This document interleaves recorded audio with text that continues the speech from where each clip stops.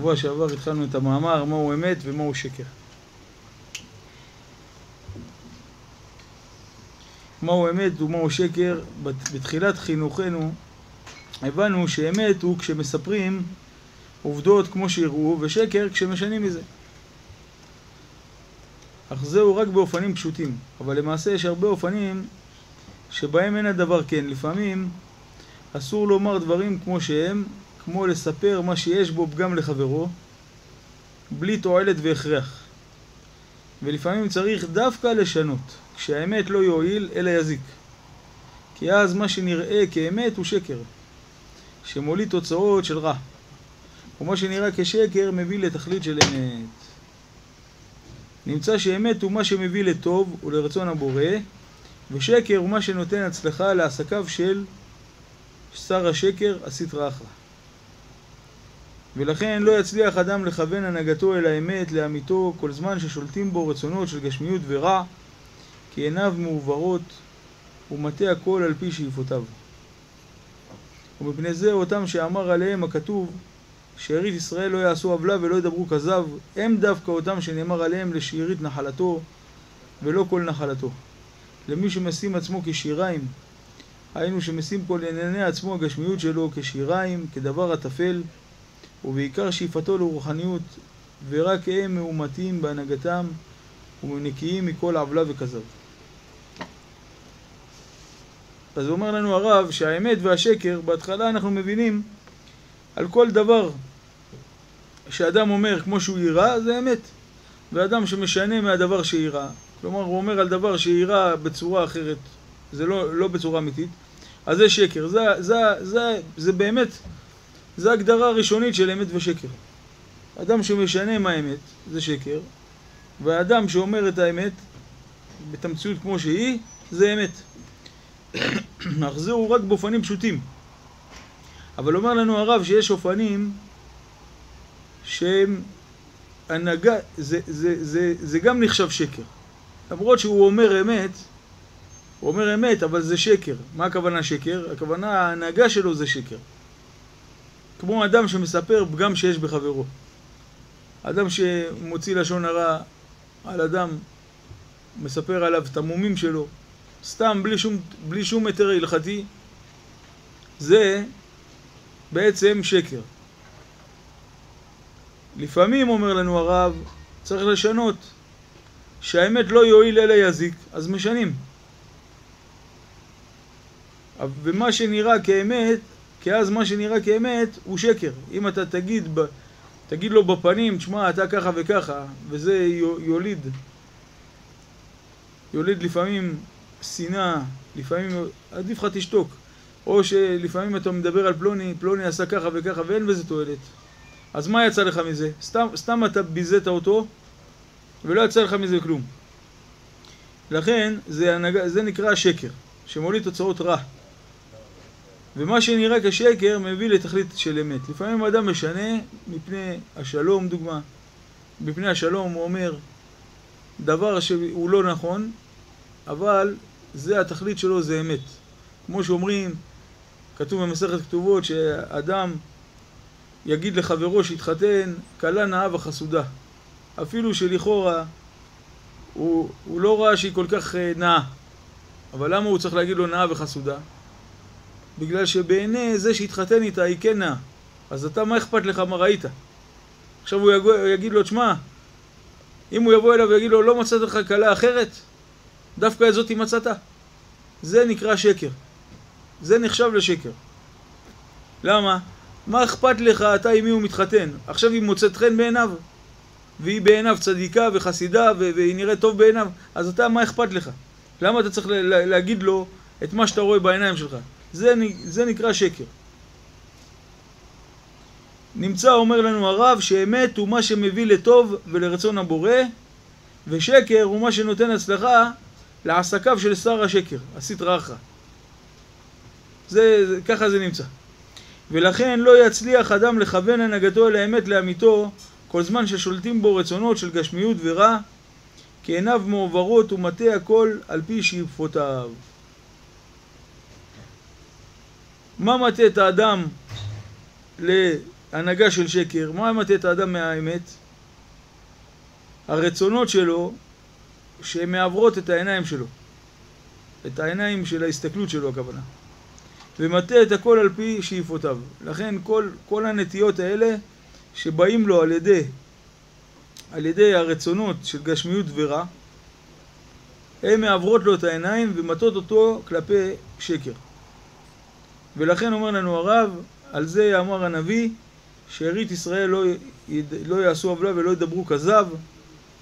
אלה ששמים את עצמם כשיריים לשארית נחלתו, מי שמשים עצמו כשיריים, היינו שמשים כל ענייני עצמו, גשמיות שלו כשיריים, כדבר טפל, ועיקר שאיפתו לרוחניות, אלה נקיים מכל עוולה וכזב. לא עוד אומר לנו הרב, אלא מי שעיקר שאיפתו לרע ושקר, אף אם יראה באיזה דברים שמתאים בדיבורו והנהגתו לעובדות. מכל מקום, שקר יחשב לו. כי כל פרטי המעשים מצטרפים ככלים לתכליתו העיקרי, ואם מטרתו היא שקר, הכל שקר. אומר לנו הרב שלפעמים גם האדם, עם כל מה שזה, השם ישמור אותך, תסכים לצוות, יחידה. לפעמים האדם, עם כל, עם, הוא נוהג בתכלית חייו, בהנהגתו, בחלק מחייו, בדברים של אמת. הוא עושה דברים של אמת, שהם לא, לא, לא שקריים. אבל אם הדרך שלו היא דרך של שקר, אומר לנו הרב, אז מה יצא מזה? שגם הדברים שעכשיו בנקודה הזאת הוא אמת, אבל היות וזה מוביל אותו לשקר, אז זה גם כן נחשב שקר, כי כל דרכיו ומטרתו היא שקר. זהו שהשיב לו הקדוש ברוך הוא ליצחק כשיצא יעקב ונכנס עשיו, ויחרת חרדה גדולה עד מאוד, התחילו כותלי הבית מרתיחין. אמר מאיפה, מי הוא זה שעתיד לאפות כאן? לאפות כאן, אני או יעקב. מה הכוונה? פירוש שהרגיש כאן מרומה. ושאל מי הוא החייב, אם יעקב שעשה את המרמה, או הוא שהניח עצמו להיות נפתח. שגם הוא לא היה אנוס, שכבר מצא רעותה, הכל כל יעקב, אלא שליבו בחר להיות נפתח. אמר לו הקדוש ברוך הוא לא אתה ולא יעקב, אלא הוא הצע ציד. לא אתם הם השקרנים, כי בין שניכם החזרתם הדבר לאמיתו כמו שהיה ראוי להיות. רק עשיו, הציד בפיו, הוא שגרם המצב המרומה שנסתלק עכשיו על ידכם, והוא שיענש. אז כאן אומר לנו שיעקב יצא ונכנס עשיו, אז יצחק אבינו, כתוב עליו, ויחרת חרדה גדולה. יצחק אבינו קיבל פחד גדול, והתחילו כל כותלי הבית מרתיחין. יצחק אבינו בעצם גילה שהוא בירך את יעקב ולא את עשיו. הוא גילה. ולכן הוא אמר, מי איפה? מי השם פה? אני או יעקב? ככה שואל יצחק, מי רימה את מי? אני, אני בגלל שנפתיתי, אפילו ששמעתי שהכל כל יעקב, אני קיבלתי ובירכתי אותו, בחרתי לברך אותו, אפילו שראיתי שהכל כל יעקב, או אולי יעקב רימה אותי. מי פה הבעיה? מי גרם פה לשקר? שהוא, שיעקב קיבל את הברכות ולא עשיו, ככה יצחק. שאל, אמר לו הקדוש ברוך הוא לא אתה ולא יעקב, אלא זה שגרם את השקר זה עצת ציד, זה עשיו. עשיו הוא השקרן, אתם, אתם לא שקרנים, עשיו הוא השקרן והוא יענש על זה שהיה צריך להסתובב פה עניין של שקר. כל זה כתוב בילקוט תולדות. ממשיך הרב אומר, ולא רק דבר היתר נחשב לרשע לרע מפני כוונתו העיקרית, אלא אפילו מה שנראה בשעתו כמצווה. כי הכל מקבל הצורה של שאיפתו ומטרתו העיקרית. למה נדמו, למה נדמו עשיו הרשע ואליפז ועמלק ובניו, וירובעם ונבוכדנצר והמן האגגי? לאחד שמצא קצות בדרך תפסה בידו והכניס לתוך העיר, והיה מכריז ואומר, האבדה הזו של מי? נקבצו כל בני העיר ויצאו לקראתו. אמרו, ראיתם איש פלוני, כמה צדיק הוא, כמה חסיד הוא? מיד עמדו ועשו ראש וקצין עליהם. בשנה, בבית שנים, ובגימל שנים, בדלת ובה', עד שהחריב את כל העיר כולה. לכך נדמו הרשעים. לא בשכר ג' דמעות שהוריד עשיו לפני אביו, נתנו לו יותר שעיר? לא בשכר ירובעם שהקשיב דבר, פירוש השמיע תוכחה לפני המלך, נתנו לו י' שבטים וכולי. זה הילקוט בסוף תולדות. אז כאן, כאן הוא יוצא לנו, אומר לנו הרב, שאפילו מה שנראה ש, שזה מצווה, אותו רשע עושה מצווה, זה גם כן שקר ורע. למה? כי המטרה העיקרית שלו זה הפך רצון השם. ופה הוא מביא לנו הרב שהרשעים זכו למלכות ולדברים גדולים בזכות מה? בזכות דברים קטנים שהם עשו. פלא פלאות. בזכות שלוש דמעות של, של נבוכדנצר, הרשע. הוא שלט על כל העולם, על כל הכיפה. וכל, ו, וכמה מקרים שהרב מביא פה, שהם עשו דבר קטן, ובגללו הם זכו למלכות, ומה הם עשו עם המלכות הזאת? הם החריבו והרסו והשחיתו. אז גם המצווה שהם עשו, כביכול הוא בכה, או זה נבוכדנצר עשה שלוש צעדים לכבוד בורא עולם. לכאורה זה דבר גדול, עשה בשביל בורא עולם, ש... צעד ופסע לפניו, התברך שמו לעד. מה הוא עשה עם המצווה הזאת? הוא קיבל שכר, ומה הוא עשה עם השכר הזה? השחית את העולם. כלומר, הרב אומר כאן שאפילו המצוות של הרשעים זה בעצם שקר ועבירה. כך אומר לנו הרב. כמו שבאותו המשיב אבדה, פה בציור שהביא לנו הרב במשל, אחד שהשיב אבדה וכולם המליכו אותו בזכות השבת אבדה, ראו שהוא אדם אמין, הוא השחית להם את העיר. אז אומר לנו הרב, כמו שבאותו משיב אבדה נתגלה לבסוף שאפילו האמת שבתחילתו היה רק צביעות לתפוס נאמנות על מנת לרמות לבסוף, כך מצוות הרשעים מתוך החורבנות שעושים בגדולות העולם הזה, הבאות להם על ידי מצוותיהם, אתה רואה שמטרה סופית זו הייתה תמונה בקרבם מתחילה. ואפילו האמת והמצוות שעשו, מתגלה שהיו כשקר. שהיו שקר בעצם. וכמובן שאין ראוי להם שכר עליהם. ומה שקיבלו שכר העולם הזה, משום שכך היא עמידה בכל מצווה שלא לשמה.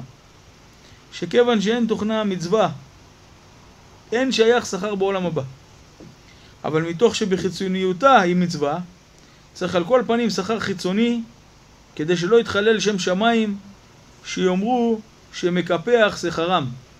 ומכל מקום בא במידה שתוכן המצווה היה רע, הרי בא במידה גם תוכן השכר הוא באמת עונש שלבסוף משתמשים בו לעבירה.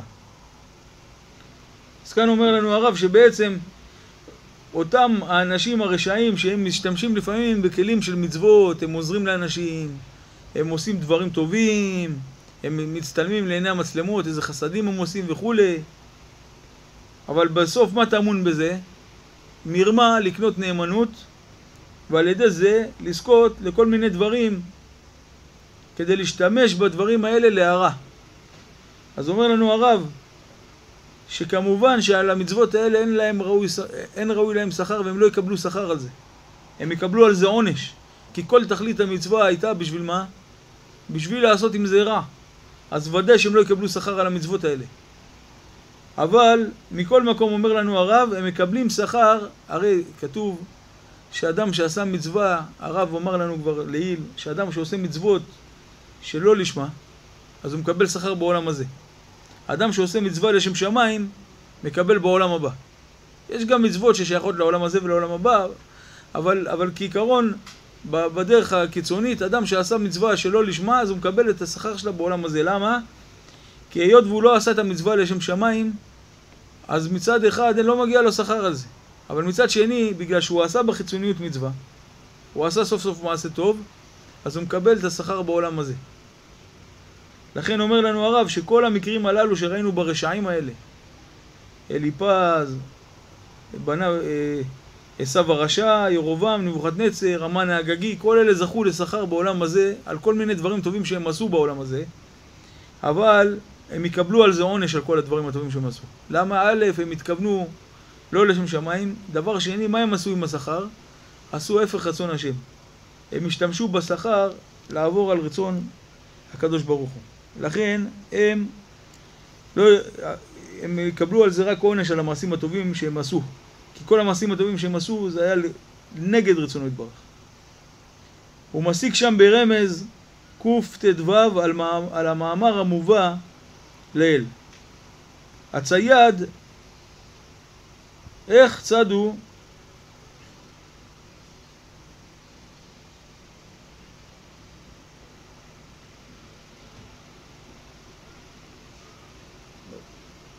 רגע, זה מה, עוד פעם, נקרא את זה עוד פעם. הצייד, איך צדו אותך? שובר שערים, איך שערך שבור ומקולקל. כן, כלומר, השאלה היא, שאלו את הצייד, איך אותך צדו? אתה הרי צד, אתה צד, אתה יודע את מלאכת הצידה. אז איך הצליחו לצוד אותך? ואדם שהוא עוסק עוסק ב, ב, ב, בענייני תיקון שערים, איך, שב, איך השער שלך שבור ומקולקל. אז אומר הוא שאמר הכתוב לא יחרוך רמייה צדו. מה הכוונה? לא יאריך ולא יאחר הקדוש ברוך הוא לרמאי ולצדו. דאמר רבי יהושע בן לוי כל אותו היום היה עשיו צד צבעים וכופתן ומלאך בא ומתירן, כל כך למה? כדי שיבוא יעקב ויטול את הברכות. שהן יקרות של העולם חרוצות לו. שלא די שלא יהיו הרמאים מהשארית לעתיד לבוא, אבל גם בעולם הזה לא ישיגו מבוקשם. ושב הטריחו עצמם בכל מיני בנייני הערמומיות שלהם. כי לא יאכלו ולא ייהנו מצדם, שאין הקדוש ברוך הוא מאחר לרמאים. ואפילו אם הגיעו סמוך להשגת חמדתם, הרי ברגע האחרון תופר עצתם. אז מה אומר לנו פה בעצם?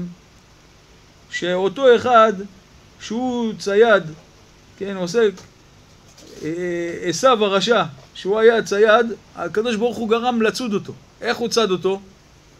הוא גרם לו, הוא היה, הוא היה צד צבעים, להביא ליצחק אביו לסעודה, כדי לקבל את הברכות, ומה הקדוש ברוך הוא היה עושה? שלח לו מלאך והמלאך היה מתיר את הצבעים האלה והיו ברוכים. אז מה זה עשה? זה עיכב אותו. הוא היה צד ומשחרר לו אותם, רודף אחריהם. אז זה עיכב את עשיו, ואז מה קרה? בעצם הוא לא הגיע לקבל את הברכות. בגלל הדבר הזה הוא לא הגיע לקבל את הברכות, הוא הפסיד את הברכות. אז זה מה ששאלו אותו, הצייד, איך צדו אותך? אתה, אתה התנהגת ברמייה על ידי ציד, על, על ידי רמייה, אז גם אותך צדו. ואותו אחד שהיה שובר שערים, היה שובר שערים, היה גורם לשבור שערים, ער שערך שבור ומקולקל. גם לו הקדוש ברוך הוא לא איחר. הוא היה נוהג בהנהגה כזאת, אז שם נתן לו מזומנים. ככה אומר לנו הרב, גם הרמאי, הרמאי, הקדוש ברוך הוא לא נותן, לא, לא מחכה איתו הרבה זמן. הוא בא במלאכת רמייה, הקדוש ברוך הוא מפיל לו את כל הבניין שהוא בנה. הוא בנה בניין במלאכת רמייה, לא יישאר לו אותו בניין. הבניין הזה ייהרס לו. כל המהלך שהוא עשה, ייהרס לו, ואז מה יקרה? הוא הפסיד את כל העמל שלו. הוא, הוא עמל ובנה לו בניין ברמיה, והפסיד. והשמיענו זה דווקא גבי עשיו, שאף שלכאורה במעשה זה הוא עשה מה שציווהו אביו, בלי מרמה. ויעקב הוא שהרים. כן, בלי מרמה. השמיענו זה דווקא גבי עשיו, עכשיו שלכאורה במעשה זה הוא שעשה מה שסיבהו אביו, בלי מרמה, ויעקב הוא שהערים, ומדוע דווקא כאן שלחו מלאך לקלקל עצתו, כן? למה המדרש דיבר דווקא על עשיו, הצייד איך צעדו? בגלל שעשיו, לכאורה הוא התנהג במצוות כיבוד אב ואם, אבא שלו שלח אותו, אבא שלו שלח אותו לצוד, ואפילו האחי, הקדוש ברוך הוא שלח לו מלאך ועשה לו, כביכול עשו עוסק במצווה, והקדוש ברוך הוא קלקל לו את המצווה. קלקל לו את המצווה. למה? כי המטרה של עשו הייתה שקר. לכן, גילה לנו כאן משפט שמיים, מהו אמת ומהו שקר. הוא רצה כביכול בחציוניות, הוא עושה מצוות כיבוד אב ואם, אבל בגלל שהוא הולך בדרך של שקר, השם לא איחר לו. לכן, הקדוש ברוך הוא הוציא לו מזה, בכבוד מורנו ורבנו.